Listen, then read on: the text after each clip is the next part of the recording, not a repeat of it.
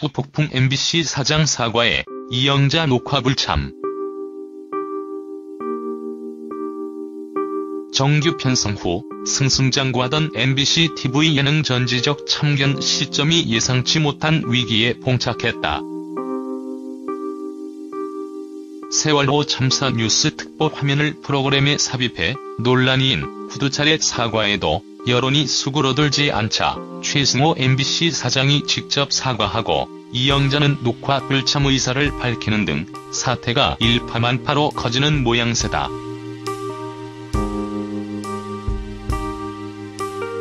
전지적 참견 시점 제작진은 지난 5일 방송에서 이영자가 어묵을 맛있게 먹는 장면을 재밌게 뉴스 보도 형태로 편집하면서 세월호 참사 당시 특보 화면을 사용해 무리를 빚었다.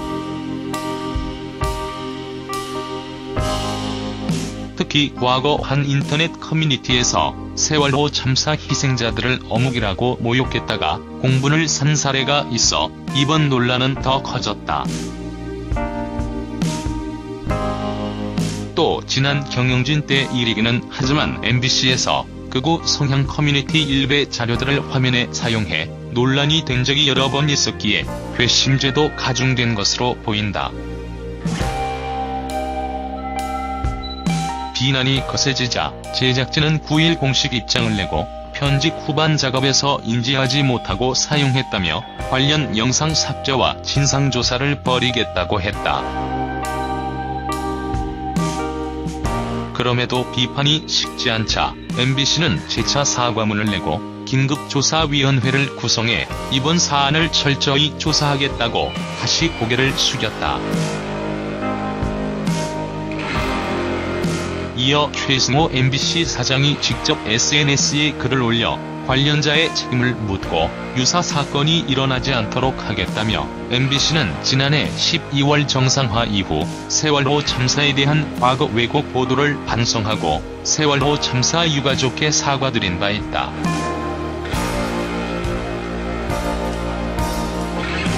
그런데 다시 이런 사건이 발생해 매우 죄송스럽고 참담하다고 사과했다. 전지적 참견 시점은 파일럿 프로그램 당시 호평을 받아 지난 3월에는 정규 편성돼 최근 시청률이 9%를 넘는 등 큰 인기를 얻고 있기에 MBC로서는 이번 일이 더욱 뼈아플 수밖에 없다. 출연진 중 한 명인 개그맨 김생민이 미투 문제로 중도 하차해 수습한 지 오래되지 않은 상황이기도 하다. 게다가 후폭풍은 이제 본격적으로 시작된 듯 보인다.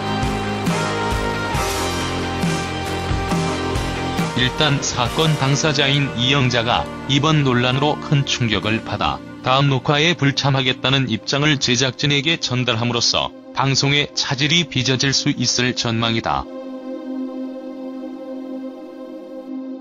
이영자는 최근 전지적 참견 시점에서 남다른 먹방으로 제2의 전성기를 맞았기에 이번 사태에 더욱 상처를 받은 것으로 전해졌다. 이영자 측 관계자는 이날 연합뉴스와의 통화에서 이영자 씨가 현장에서 방송분을 볼 때는 해당 내용이 없었는데 후반 편집 후 숨겼다며 본인이 이번 사태에 굉장히 놀라 일단 다음 녹화에 참여할 수 없다는 입장을 밝혔다.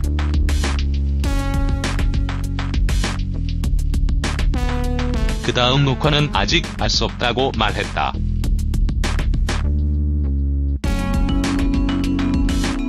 전지적 참견 시점 제작진과 이영자 소속사 양 측은 현재 모두 긴급 대책 회의 중으로 입장이 정리되면 다시 밝힐 예정이다.